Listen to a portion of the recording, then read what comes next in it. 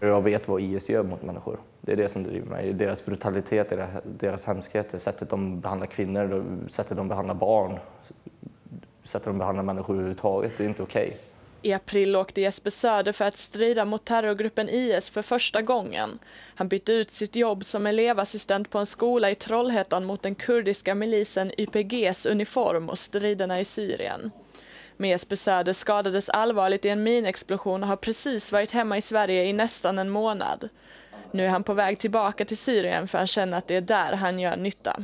Det är inte bara att jag åker ner och ska pang-panga, utan jag vill göra någonting för civila där nere. Och finns jag och kan göra det på plats, då kommer jag göra det. Har jag möjligheten att göra det, kommer jag göra det.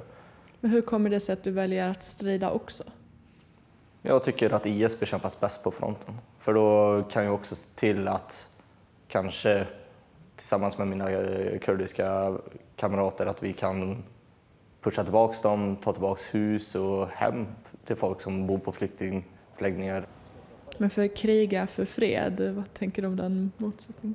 Jag har aldrig tyckt att krig löser någonting. Eh, utan krig är bara hemskheter. Det finns inget gott i det här. Men det finns inget annat sätt att stoppa dem här. Det, det, det här är enda lösningen att stoppa dem här.